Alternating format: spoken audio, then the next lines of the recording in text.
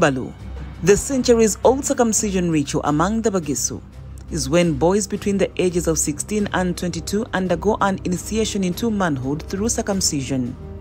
With the season set to be launched tomorrow at Mutoto Culture Grounds in Mbale City, boys ready to become men will face the knife to remove the skin that covers the tip of their penis, also called the foreskin. Imbalu, like other culture performances among the Bagisu, has been affected by fewer and fewer boys undergoing initiation. Youth look at the performances as something over cult and consider these rituals to be backward and primitive, paving way for hospital circumcisions. However, if done safely, local circumcision carries the same benefits as hospital ones. These include easier hygiene, lower risk of HIV and urinary tract infections, lower risk of sexually transmitted infections, prevention of penile problems, lower risk of penile cancer.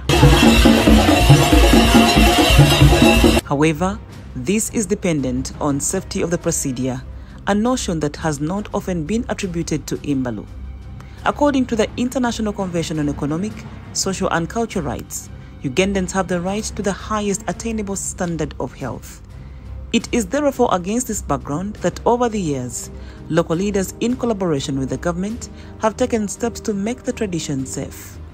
Ahead of the Imbalu season, the Ministry of Health and the Culture Institution Inzu ya Masaba announced that over 45,000 registered surgeons would undergo HIV tests to safeguard those to be circumcised.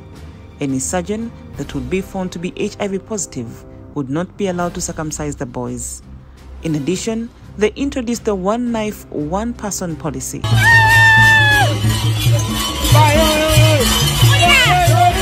Still in the same spirit, making the exercise safe. Hope Mbale launched a week-long campaign to keep in check the sexual reproductive health of young people as they practice their culture. You realize that during the festival season, there are many cultural practices being practiced in this in this place, which can lead our young people into danger.